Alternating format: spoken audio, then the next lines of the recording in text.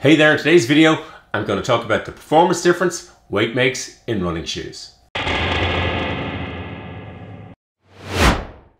I'm making this video because I was asked to recommend a shoe to run a marathon in. And for me, a critical criterion in choosing a shoe is weight. And in this video, I'm going to show why. I'm going to look at some academic texts, then I'm going to do some track testing comparing one of my lightest shoes with one of my heaviest.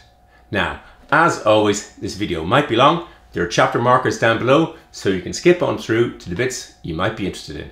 Let's get going. To keep it simple, I picked two shoes from Nike, the lightweight Nike Vaporfly 3. I've run my personal best in a marathon, and the heavyweight, the Nike Infinity Run 4 GTX. Another favorite of mine, but one I mainly use for walking in. The two shoes I've chosen are both identically sized. They're UK 12 EU 47.5 and US men's 13. And the weight as tested, Vaporfly 3 is 242 grams, 8.54 ounces. And the Invincible is 481 grams, 16.97. This shoe is double the weight of this shoe.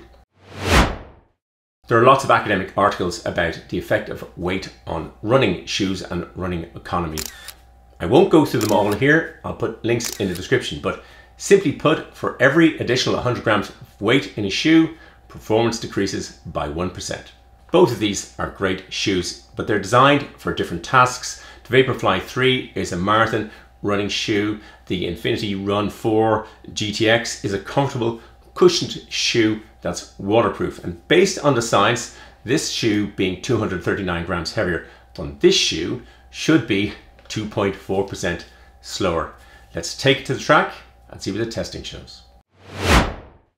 I did the testing on my local track by attaching a Stryd foot pod to each shoe each time and the Stryd foot pod measures running power and the idea was I put the same power into each shoe in each training block and see what different metrics changed, whether the, the cadence, the stride length, what would change in each of the different shoes.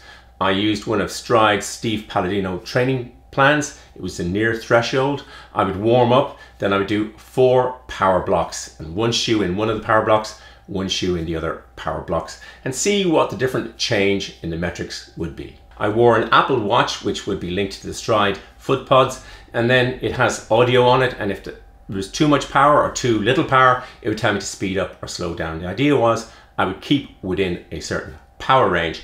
That's hard to do when there's windy loops of the track so what I did first was I kind of went out and got the power range and then using my Vaporflies, that was running at about 4 minutes 45 per kilometer. The first block I ran in the Vaporfly 3s at about 4.45 per kilometer and that, I found that relatively easy and comfortable to do for the 7 minutes. Then I changed into the Infinity runs and the first thing I noticed was that they're immediately heavier, the foam was stiffer and there's a harder impact on the track and it was harder. I was putting more effort in to keep the pace of 4 minutes 45. In the Infinities, my watch was saying to slow down or reduce power, and in the Vaporfly, it was saying to speed up or increase power. In other words, I was putting less power into the Vaporfly 3s running at the same pace. The 7 minutes corresponded to between three and four laps of the track. And for the purpose of the data set here, I'm picking the middle two laps, cutting off the start and the end in each of the shoes. It's the same middle two lap section. To compare the data, which I'll stick up here and here, the power was 305 watts in the Infinity and 306 watts in the Vaporfly 3. So pretty much identical power Cadence was different. In the Infinity it was 185 steps per minute. It was higher in the Vaporfly 189 steps per minute. And the stride length in the Infinity was 1.09 meters and it was 1.12 meters in the Vaporfly 3. And when you multiply one by the other, I was going faster in the Vaporfly 3. We'll come back to that. The heart rate was a bit higher in the Vaporfly 3. It was 175 beats per minute versus 170 beats per minute. That's probably because it was towards the end of the session, I think, probably working a little bit on more tired. And the ground contact time, interestingly, was identical, 220 milliseconds in each of the shoes. And the vertical oscillation in the Infinities was 6.08 centimeters and 6.01 centimeters in the Vaporfly 3. so I was running more efficiently, less bounce. And I'll put a link to the Stryd data into comments that you can look at to your heart's content. I took the Stryd data for the entire session. I kept it all as one session, but with the Garmin, I stopped and started depending on the actual individual blocks of seven minutes. And in the Infinity 4, in that seven minutes, I went 1.49 kilometers, 442 minutes per kilometer. And the Vaporfly 3, 1.55 kilometers was the distance I ran.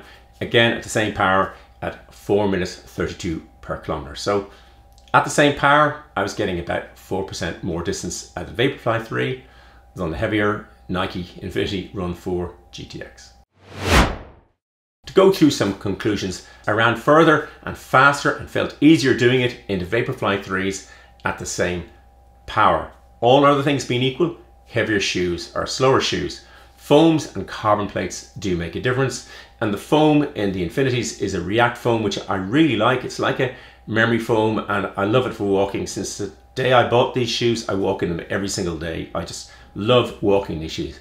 But for running, the ZoomX foam is lighter, more bounce, too much bounce when you're walking, but running in combination with the carbon plate, it's really good. The lightness does pay off over the length of the marathon, but you could make the shoe even lighter. My Nike Streak Flies are lighter, but then you wouldn't get the cushioning.